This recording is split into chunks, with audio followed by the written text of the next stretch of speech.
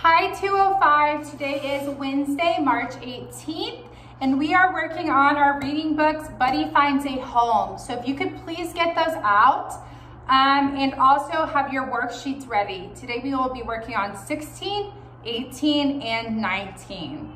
Okay, so um, I actually previously recorded this lesson. So in the description, it'll have the link. So just go ahead and go down below and you will click the link and watch that video. It was previously recorded on Monday for 707 class. So it'll say 707 Monday, March 16th. But don't worry about that. This is your lesson for today, 205 Wednesday, March 18th, okay? So you will be reading Buddy Finds a Home in worksheets 16, 18, and 19. Okay, so go ahead and click that link down below. Bye, everybody.